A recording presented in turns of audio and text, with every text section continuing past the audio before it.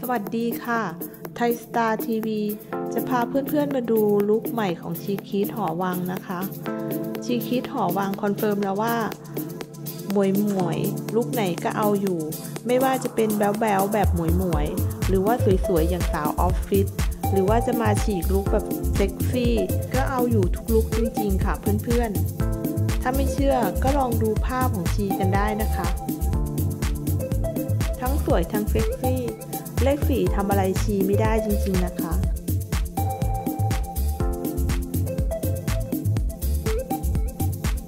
เป็นยังไงคะลุคนี้ของชี ชอบกันใช่ไหมล่ะคะ ถ้าชอบยังไงอย่าลืมฝากกดไลค์กดแชร์ และ Subscribe เป็นกำลังใจให้ช่องไทยสตาร์ทีวีด้วยนะคะ